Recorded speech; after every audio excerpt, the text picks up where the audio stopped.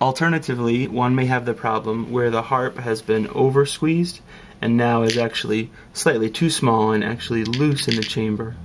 Other people also note occasionally that the lycra threads appear to be somewhat loose, although they're pre-tensioned, so that problem shouldn't be common.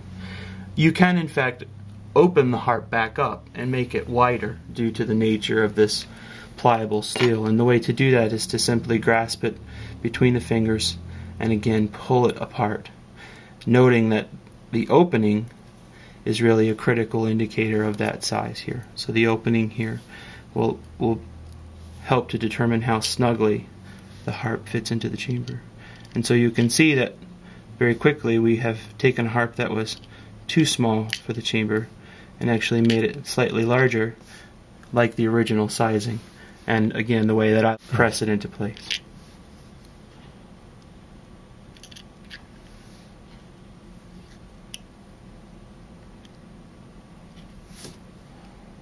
Perfect.